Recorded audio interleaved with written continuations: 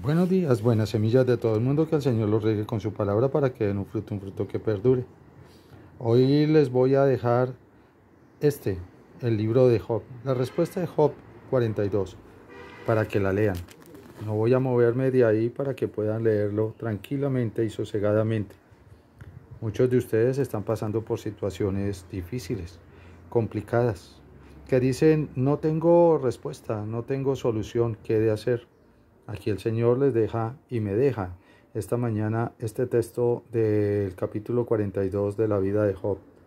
Job había perdido todo y Job levanta sus ojos y reconoce, reconoce del Señor, reconoce su grandeza, su poder, su amor.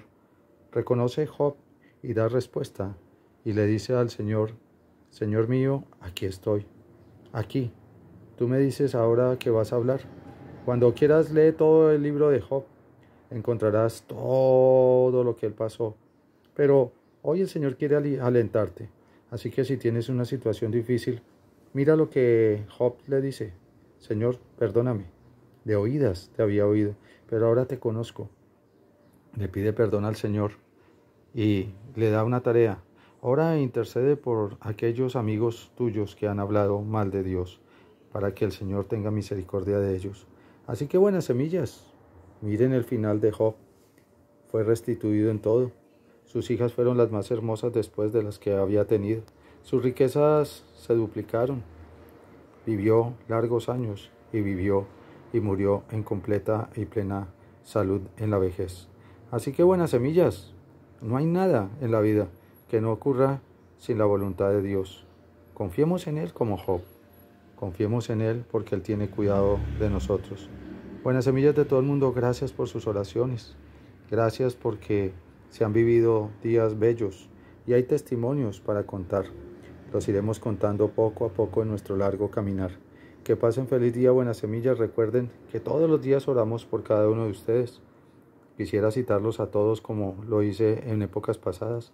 Tatiana, Tina, Jairo, Rubén, Miguel, Carlos, Willy, Juanito, Alexandra, Liliana, Germán, Marta, todo el grupo Buenas Semillas, Juan Carlos, Mercedes, Carlos, Lina, Ligia, Mauricio, Alberto, todos los Buenas Semillas. Todos los días cuando pongo mis rodillas delante de los pies del Señor, oro por cada uno de ustedes. Amparo, La Mona, Rubén, todas sus familias. Eso es lo que el Señor me ha mandado. Así que buenas semillas, vamos bien. Hemos tomado posesión de la tierra que fluye leche y miel. Se ha cumplido la promesa que el Señor me dio hace siete años cuando comenzamos todos estos audios, todas estas grabaciones. Alba, Dalmícar, Gladys, todos ustedes. Así que vamos bien. Veremos cosas grandes, maravillosas y poderosas. Veremos tiempos de restitución.